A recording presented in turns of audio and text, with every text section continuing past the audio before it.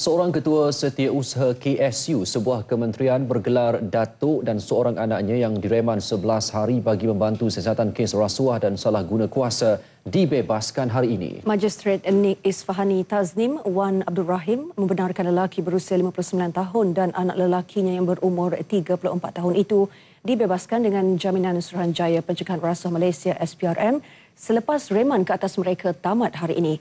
Magistrate membenarkan KSU itu dibebaskan dengan jaminan RM200,000 manakala anaknya RM25,000.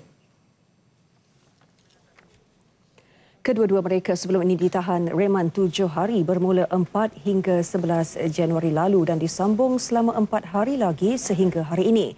Pada Rabu lepas, mahkamah membebaskan seorang lagi anak lelaki KSU itu yang berusia 29 tahun dengan jaminan RM10,000 selepas siasatan terhadapnya selesai.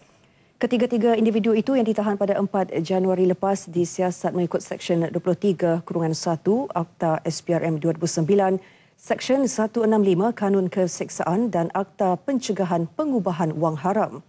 Dua anak lelaki KSU itu merupakan pengarah urusan dua syarikat berbeza.